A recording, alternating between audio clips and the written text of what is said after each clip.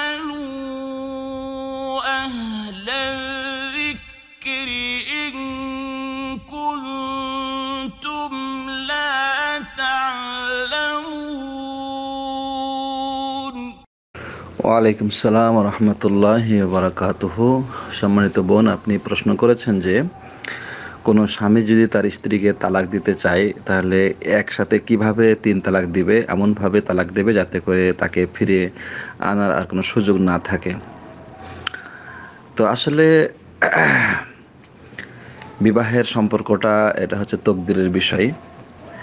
এক্ষেত্রে তালাক দিয়ে সম্পূর্ণরূপে একবারই ছিন্ন করে ফেলাটা ইসলাম উদ্বুদ্ধ করে নাই। বরং ইসলাম উদ্বুদ্ধ করেছে। যে বারে বারে তালাক দিতে। তিন মাসে তিন তালাক দিতে বলেছে ইসলাম। ইসলাম চায় না যে সম্পর্কটা সম্পূর্ণরূপে ভেঙে যাক।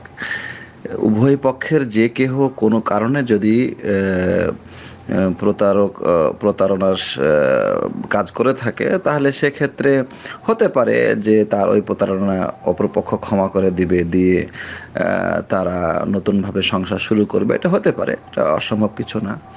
তার জন্য যে তালাক দিয়ে দিতে হবে, সম্পর্ক ছিন্ন করে ফেলতে হবে, এটা জরুরি নয়। যাই হোক, তারপরেও যদি সম্পর্ক রাখতে নাই নাই চাই, তাহলে তার সুযোগ আছে। প্রথমে এক, প্রথম মাসে এক তালাক দিবে, তারপরের মাসে আরেক তালাক দেবে, তারপরের মাসে আরেক তালাক দেবে দিয়ে তিন মাসে তিন তালাক দিয়ে বিচ্ছিন্ন করে দেবে। এটাই হচ্ছে শরীয়তের নিয়ম এবং এটাই হচ্ছে উত্তম নিয়ম।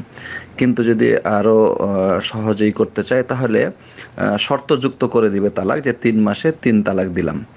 প্রতি মাসে, অমুক আগামী মাসে, আজকে এই মাসে, আজকে এক তালাক আগামী মাসের এই দিনে এক তালাক এবং তার পরের মাসে এই দিনে আরেক তালাক। এভাবে সময়ের সাথে সম্পৃক্ত করে তিন তালাক দিয়ে দিবে, তাহলে সেটা ওই সময় আসবে এবং তালাকগুলো একে একে পড়ে যাবে, তখন সে বিচ্ছিন্ন হয়ে যাবে।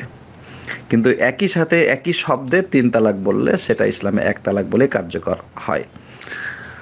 আর যদি কোনো ক্ষেত্রে এক তালাক কার্যকর হয়ে, বিচ্ছিন্ন হয়ে যায়, তার মানে তিন মাসের মধ্যে যদি ফেরত না নেয় তাহলে সেটা বিচ্ছিন্ন হয়ে গেল, ওই অবস্থায় পুনরায় বিবাহের মাধ্যমে সে ফেরত নিতে পারবে। তো যাই হোক, এগুলি হচ্ছে নিয়ম। তো এই ধরনের কথার উপর ভিত্তি করে কাউকে আপনারা কিন্তু ফতোয়া দিবেন না।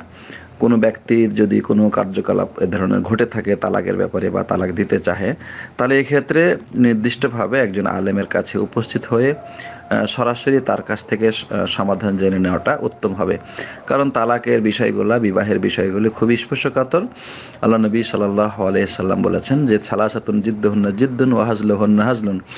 তিনটি জিনিস হচ্ছে এমন যা দৃঢ়ভাবে বললে হয়ে যাবে এবং হাসি মজাকের ছলে বললেও হয়ে যাবে।